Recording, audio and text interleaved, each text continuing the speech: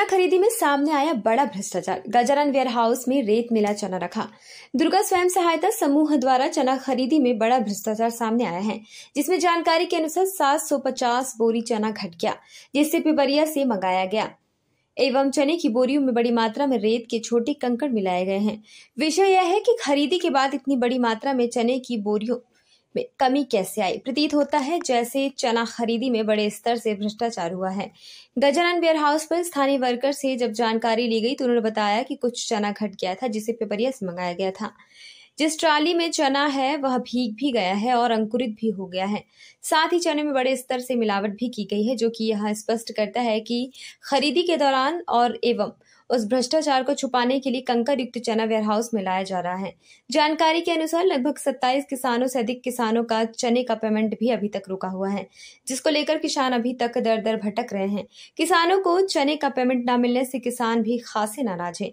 क्या चना खरीदी में भ्रष्टाचार हुआ है? और यदि हाँ तो प्रशासन उस समय इस विषय पर ध्यान क्यों नहीं दे पाया? संबंधित विषय पर जिला कलेक्टर नीरज सिंह से बात की गई। इस विषय पर उन्होंने बताया कि जो भी चने की बोरी जमा हुई है, उसे जाँच के बाद ही रखा जाएगा। यदि गलत पाए जाते हैं तो कार्रवाई की जाएगी। कहाँ से आओ जो?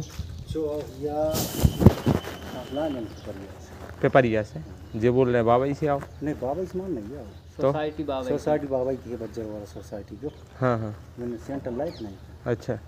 तो जॉब है आपने कहाँ से लानो? जो? हाँ। पेपर यही।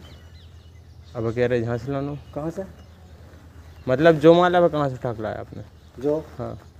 जो मैंने खरीद के हेलो हेलो ऐ? आ रहा हूँ आ रहा हूँ। जो माल है उनने कुछ घट रहा था जहीं करो भगवान जाने कहाँ से करो अपन ने तो लगाए हैं ना। हम्म हम्म। है ना? घटो जो माल। हाँ।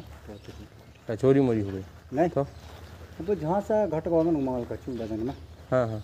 वज़न तो पूरा करके देना पड़ा है। हाँ हाँ। जो है।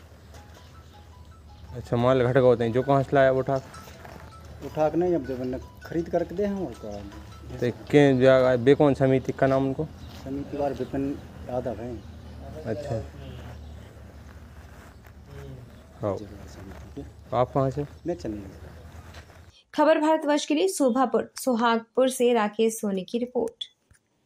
अपने शहर अपने प्रदेश की ताज़ा खबरों के लिए लाइक करें शेयर करें सब्सक्राइब करें। और हाँ बेल आइकन दबाना ना भूलें, क्योंकि खबर हमारी फैसला जनतंत्र का।